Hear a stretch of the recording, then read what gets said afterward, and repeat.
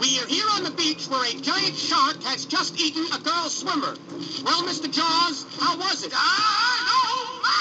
And what did she say when you grabbed her? I know sharks are stupid, but what did you think when you took that first bite? Mr. Jaws, before you swim out to sea, have you anything else to say?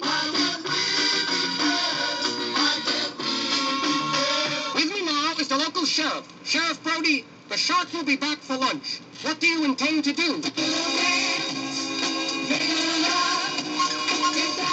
Just arriving is oceanographer Matt Hooper. Sir, if someone is attacked by a shark, what should they do? We are going aboard the fishing boat of Captain Quint. Captain, will you be able to catch this giant shark? Thank Captain, when you catch one of these sharks, what do you feel like?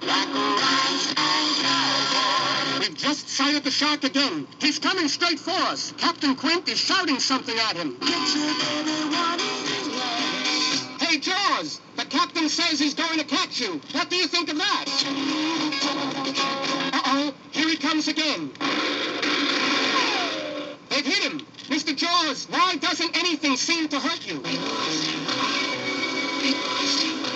He's coming right onto the boat. Mr. Jaws, why are you grabbing my hand? No, wait! Mr. Jaws! That's not the way this record is supposed to end!